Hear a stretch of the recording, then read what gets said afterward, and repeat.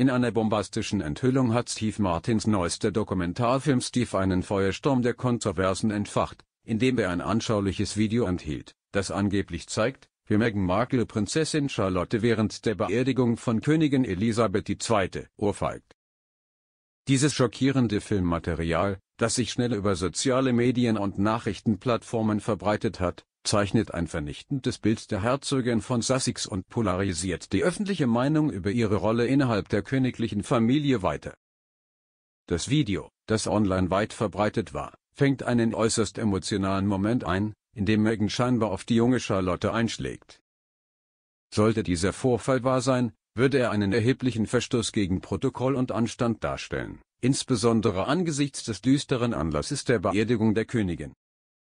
Das Filmmaterial hat zu weit verbreiteter Verurteilung geführt und wurde von einigen Kommentatoren als Beweis für Megans sprunghaftes Wesen und die Missachtung königlicher Anstandsregeln beschrieben.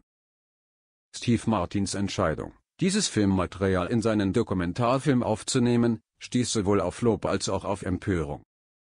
Befürworter argumentieren, dass die Öffentlichkeit ein Recht darauf habe, die Wahrheit über die internen Dynamiken der königlichen Familie zu erfahren, während Kritiker Martin Sensationsgier und einen Eingriff in die Privatsphäre der trauernden Familie vorwerfen.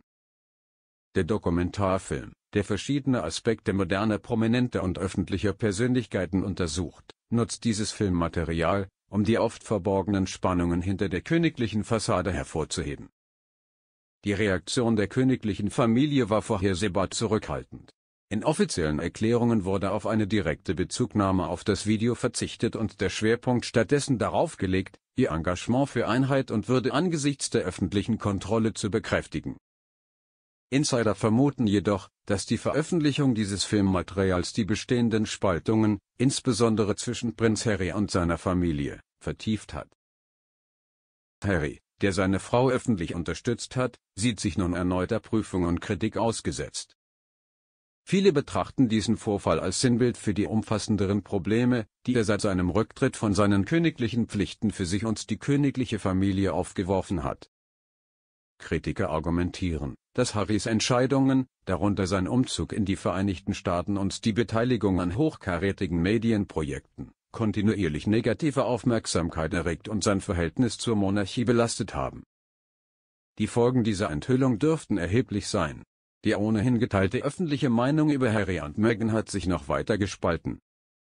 Unterstützer des Sussexes betrachten die Veröffentlichung dieses Filmmaterials als ein weiteres Beispiel für ihre Viktimisierung und die unermüdliche Verfolgung durch die Medien, die ihr Leben geprägt hat.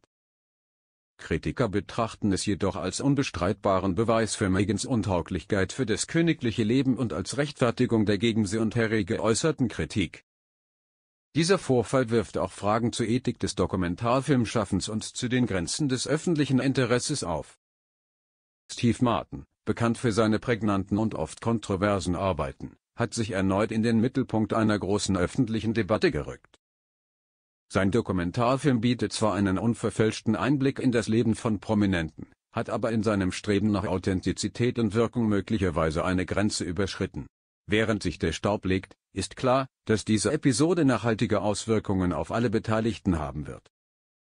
Die königliche Familie, die bereits unter intensiver öffentlicher Beobachtung steht, muss sich mit einem weiteren Skandal auseinandersetzen, der die Feierlichkeit und den Respekt, der dem Andenken der Königin gezollt wird, zu überschatten droht.